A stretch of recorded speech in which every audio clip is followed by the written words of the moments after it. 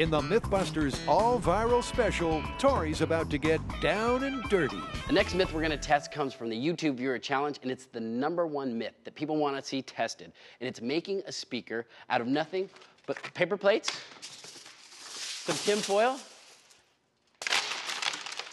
and a shiny penny, and a mini jack. It's the video you most wanted us to test. Household Hackers High Def Speakers. Go ahead and wrap your aluminum foil over the convex side of your paper plate. The idea is the foil reverberates, creating sound, just like a normal speaker cone. You're going to place the penny somewhere towards the center of your plate.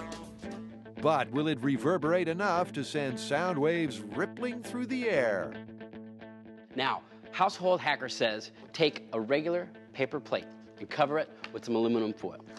He says that this traps the air and gives you that reverberation effect that you're looking for. Okay, now you take a shiny penny, not a corroded one. You want a shiny one because it'll be less resistant. You stick the shiny penny in the center of the plate, like that. Then you take your mini jack.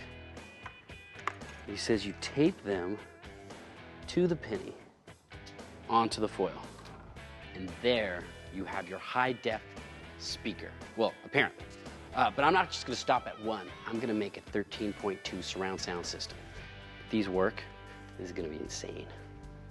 Oh, yeah, a 13 paper plate speaker surround sound system. Clearly, Tory's a big ideas man. You know, if these work, I might be able to retire early.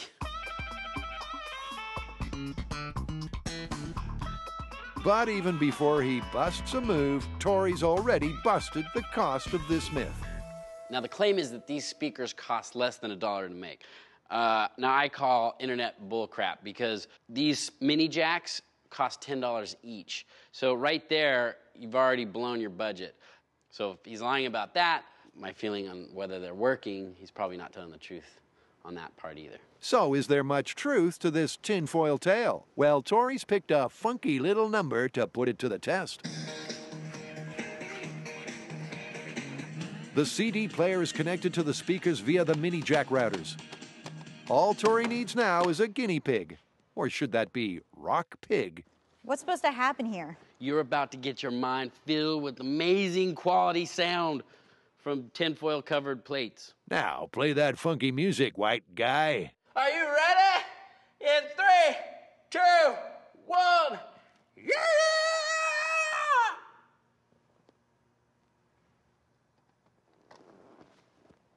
I don't understand. I don't hear anything. What's supposed to be happening? It's supposed to be amazing music coming out of my speakers. Son of a. That's $150 down the tube. But Kari's had a rockin' idea. Maybe there's not enough power to drive all 13 speakers at once. Maybe all these speakers in parallel are lowering the impedance. Maybe that's your problem. Oh, I didn't think of that. Maybe I'll just try hooking up one. Tory connects the CD player to one speaker, just like Household Hacker did, and maybe like he should have in the first place. All right, so this is one aluminum foil speaker test. Here we go. You ready? It's the golden sound of silence again. Do you hear that? That's the sound of money being thrown away. All right, this isn't working. Mm, no. Sounds like a paper plate speaker for less than a dollar really is just too good to be true. Sorry about that.